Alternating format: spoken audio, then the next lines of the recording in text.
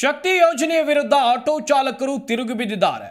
ಹುಬ್ಬಳ್ಳಿ ಧಾರವಾಡ ಅವಳಿ ನಗರದಲ್ಲಿ ಆಟೋ ಸಂಚಾರವನ್ನ ಸಂಪೂರ್ಣವಾಗಿ ಬಂದ್ ಮಾಡಿ ಮುಷ್ಕರವನ್ನು ನಡೆಸಿದ್ದಾರೆ. ಪ್ರತಿಭಟನಾಕಾರರನ್ನ ಭೇಟಿಯಾದ ಸಚಿವ ಸಂತೋಷ್ ಲಾಡ್ ಸೂಕ್ತ ಕ್ರಮದ ಭರವಸೆಯನ್ನು ನೀಡಿದ್ದಾರೆ. ಈ ಬಗ್ಗೆ ಒಂದು ವರದಿ ಇಲ್ಲಿದೆ ನೋಡಿ.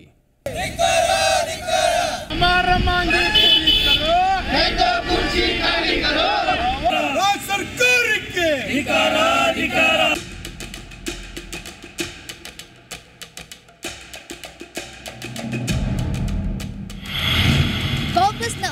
ಶಕ್ತಿ ಯೋಜನೆ ವಿರುದ್ಧ ಸಿಡಿದಂತ ಸಾರಥಿಗಳು.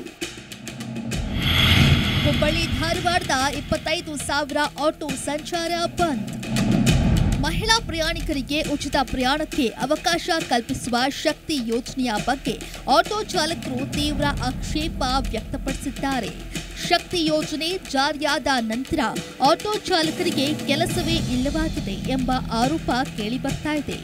ಸಾವಿರಾರು ಕುಟುಂಬಗಳು ಬೀದಿಗೆ ಬಂದಿವೆ ಅಂತ ಆಕ್ರೋಶ ವ್ಯಕ್ತಪಡಿಸಿದ್ದಾರೆ. ಶಕ್ತಿ ಯೋಜನೆ ವಿರೋಧಿಸಿ ಉತ್ತರ ಕರ್ನಾಟಕ ಆಟೋ ಚಾಲಕರು ಮತ್ತು ಮಾಲೀಕರ ಸಂಘದಿಂದ ಹುಬ್ಬಳ್ಳಿಯಲ್ಲಿ ಮುಷ್ಕರ ನಡೆಸಲಾಗಿದೆ. ಬೆಳ್ಳಂ ಬೆಳಗ್ಗೆ ರಸ್ತೆಗಿಳಿದಂತಹ ಆಟೋ ಚಾಲಕರು ಹುಬ್ಬಳ್ಳಿಯ ಚೆನ್ನಮ್ಮ ವೃತ್ತದಲ್ಲಿ ಬೃಹತ್ ಪ್ರತಿಭಟನೆ ಮಾಡಿದ್ರು. ರಾಜ್ಯ ಸರ್ಕಾರದ ವೃತ್ತ ಘೋಷಣೆಗಳನ್ನ ಕೂಗಿದ್ರು. ನಗರ ಸಾರಿಗೆಯ ಇಪ್ಪತ್ತು ಕಿಲೋಮೀಟರ್ ವ್ಯಾಪ್ತಿಯಲ್ಲಿ ಶಕ್ತಿ ಯೋಜನೆಯನ್ನ ರಾಜ್ಯ ಸರ್ಕಾರ ಕೂಡಲೇ ಹಿಂಪಡೆಯಬೇಕಂತ ಒತ್ತಾಯ ಮಾಡಿದ್ರು.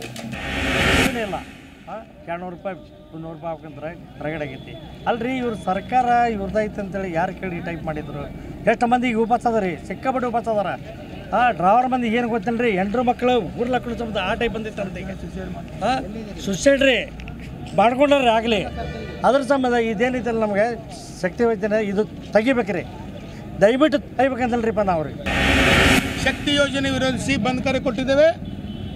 ಈ ಶಕ್ತಿ ಯೋಜನೆ ನಗರ ಸಾರಿಗೆ ಇಪ್ಪತ್ತು ಕಿಲೋಮೀಟರ್ ಸರ್ಕಾರ ಬಿಟ್ಟುಕೊಡ್ಬೇಕಂತ ಹೇಳಿ ಈಗಾಗಲೇ ಹತ್ತಾರು ಬಾರಿ ಮನವಿ ಕೊಟ್ಟಿದ್ದೇವೆ.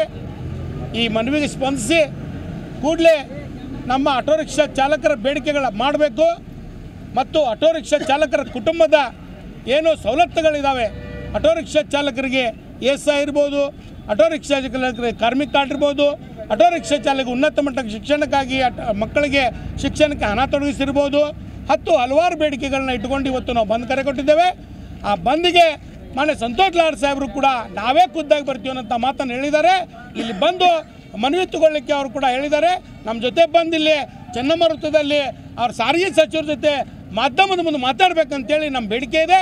ಅವ್ರ ಜೊತೆ ಮಾತಾಡಿ ನಮ್ಮ ಕಷ್ಟಗಳು ಕೇಳಿ ಅಂತ ಅದಕ್ಕೆ ಪ್ರತಿಭಟನೆ ಮಾಡ್ತಾ ಇದ್ದೀವಿ ಹುಬ್ಬಳ್ಳಿಯ ಚೆನ್ನಮ್ಮ ವೃತ್ತದಲ್ಲಿ ಪ್ರತಿಭಟನಾ ನಿರತ ಆಟೋ ಚಾಲಕರನ್ನ ಕಾರ್ಮಿಕ ಸಚಿವ ಸಂತೋಷ್ ಲಾಡ್ ಭೇಟಿ ಮಾಡಿ ಅವಹಾಲು ಸ್ವೀಕರಿಸಿದ್ರು.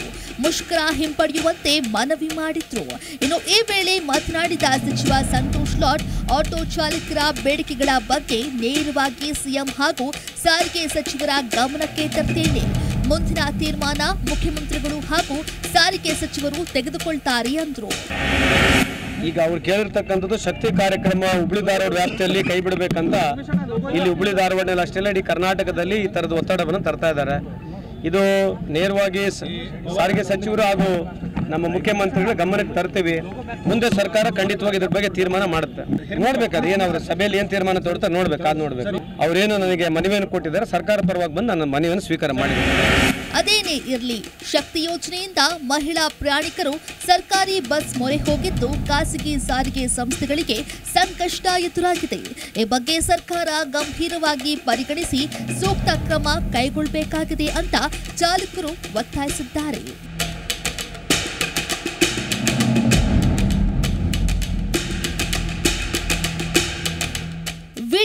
ಜರ್ನಲಿಸ್ಟ್ ಫಕೀರೌಡ ಪಾಟೀಲ್ ಜೊತೆ ಕಲ್ಮೇಶ್ ಮಂಡ್ಯಾಳ್, ಜಿ ಕನ್ನಡ ನ್ಯೂಸ್ ಹುಬ್ಬಳ್ಳಿ.